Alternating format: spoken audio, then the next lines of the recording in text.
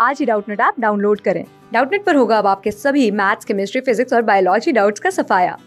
बस अपने क्वेश्चन की फ़ोटो खींचो उसे क्रॉप करो और तुरंत वीडियो सोल्यूशन पाओ। Download now.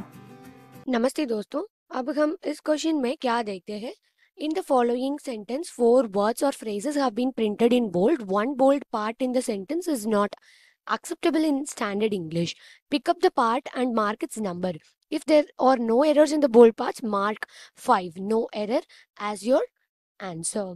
तो मैं यहाँ पर एक सेंटेंस दिया गया कि हमें इसका करेक्ट मीनिंग सुनाइए from the option given below which is error free sentence we have to choose the error free sentence या हमें spot the error type question पूछा जा रहा है come on let's get into the sentence they met a lot of friends at the alumni party.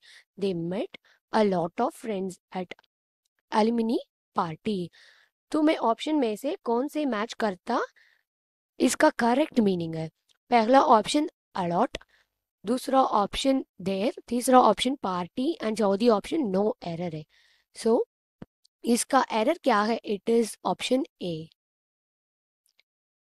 allot का क्या मतलब होता है? अलॉट अलॉट मतलब to distribute to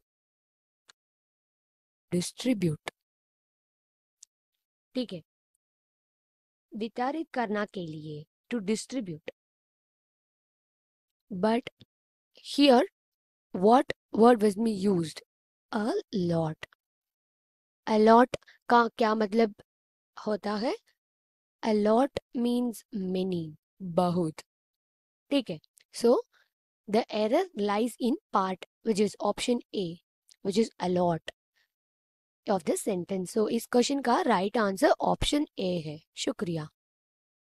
class six से ट्वेल्थ से लेके NEET I I T JEE Mains और एडवांस के लेवल तक, दस मिलियन से ज़्यादा स्टूडेंट्स का भरोसा।